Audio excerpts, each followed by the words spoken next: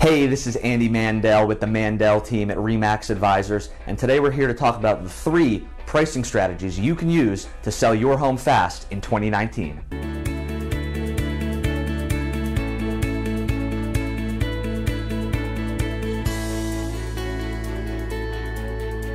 So 2019 is turning out to be a year of you know, a shifting market. We're seeing somewhat declining sales, a little bit more inventory hitting the market, which is the first time we're seeing that in a while. So pricing now is more important than it's been over the last 10 years.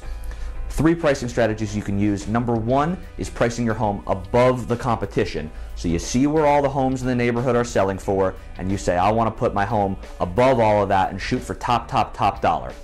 Now, what that's going to do is when buyers come into your house, if they come in, they might say, I like it, but they are going to go look for a home that's a better value before they go write an offer on yours. So we don't necessarily recommend pricing above the competition.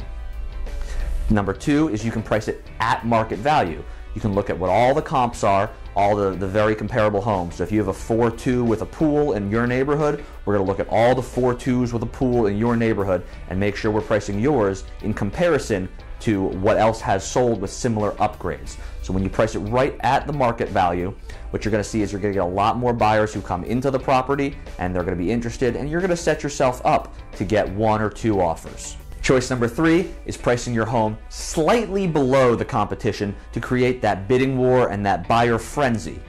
Uh, today, you know, when buyers see a property that's priced really, really well, they, they get really excited about it. They want to go in there, and you'll get, by using this strategy, you'll end up creating a lot more demand on your property. You'll end up selling the property for above list price, and you'll have a lot more offers to choose from so you can make sure that you're picking the most qualified buyer versus someone who just bids the highest, but maybe they're not that qualified. If you only have one offer, you don't have much of a choice. But choosing this strategy will create you the biggest pool of buyers to choose from and generate the most amount of offers.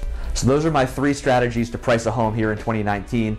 Let me know which strategy you think is best for your home. And if you're thinking about buying or selling, give us a call, shoot us a text, send us an email. Let us know how we can be of assistance to you.